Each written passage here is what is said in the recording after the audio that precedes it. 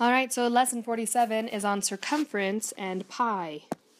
So remember, the circumference is about three times the diameter. It's about that, it's close. So our formula is the circumference equals pi times the diameter. And remember, pi is, pi is equal to 3.14. As you can see, it's really close to 3. Or 2 times pi times the radius. Now this makes sense because the, the diameter is 2 times the radius. So that's just what we've done over here. And then added pi. So if I have this equation, Sydney drew a circle with a 2 inch radius. What is the circumference of the circle? Okay.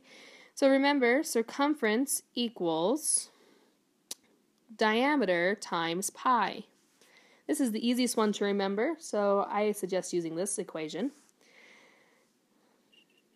So again, let's plug in the numbers. So circumference equals diameter, and here it gives us a 2 inch radius. So the diameter, remember, is twice the radius. So my diameter is going to be 4 inches. And I'm going to multiply that by pi, which is 3.14. Okay, so let's go ahead and write that as a multiplication problem. We're going to do 3.14 times by 4. 4 times 4 is 16. Carry my 1. Remember to ignore the decimal place.